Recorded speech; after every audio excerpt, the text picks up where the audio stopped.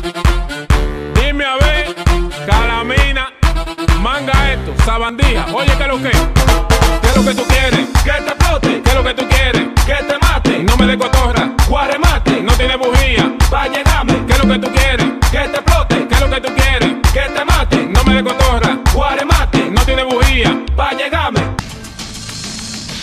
Unas 150 mil personas marcharon en Oslo, Noruega, mejor dicho, tras el atentado que acabó con la vida de por lo menos 87 personas. Al menos otros 700 dominicanos viven en ese país. Afortunadamente, ninguno resultó herido durante el ataque. Tenemos vía telefónica al joven dominicano José Ramírez. Buenas noches, José.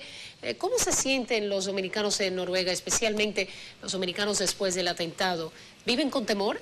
No, no estamos atemorizados, la verdad. La, sí estamos un poco tristes. Sabemos qué ha sucedido, cómo ha sido lo que ha ocurrido y el saber tener una respuesta de las autoridades ya tan tan pronta y tan precisa, eso nos da no solo a los dominicanos, sino a toda la sociedad en general, nos da una tranquilidad y un y un poder estar con la tristeza, pero con la tranquilidad al mismo tiempo de que las cosas han ido marchando a un ritmo de una sociedad muy, muy civilizada.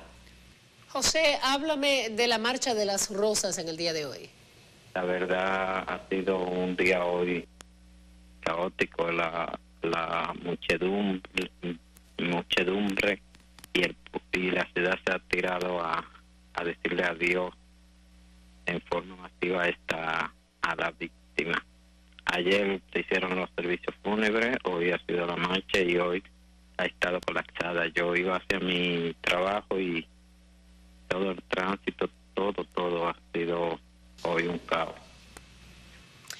José, gracias. José Ramírez informándonos eh, desde Noruega. Precisamente el juez que instruye el caso por el doble atentado en ese país dictó hoy prisión provisional para el autor confeso de los dos ataques, mientras que Noruega en tierra se, entera se sumió en un minuto de silencio nacional en recuerdo de las víctimas. El homenaje paralizó el centro de la capital escandinava y estuvo encabezada por la familia real y el primer ministro de ese país.